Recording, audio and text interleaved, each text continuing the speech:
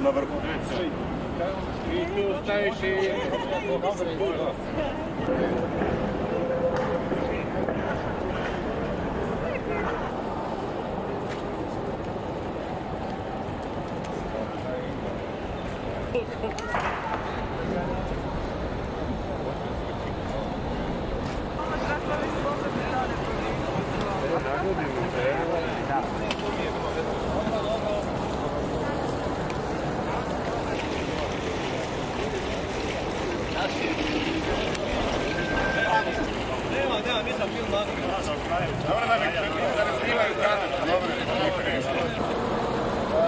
Poštujemo pravila izlazak iz grada, moramo se zaustavljati na semaforima, nažalost, to sam...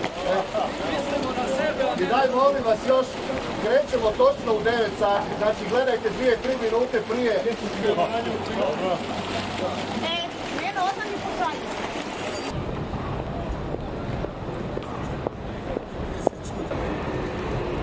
Dva po dva.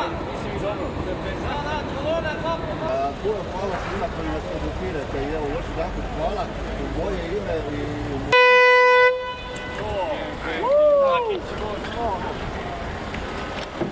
Javi se. Da, oj.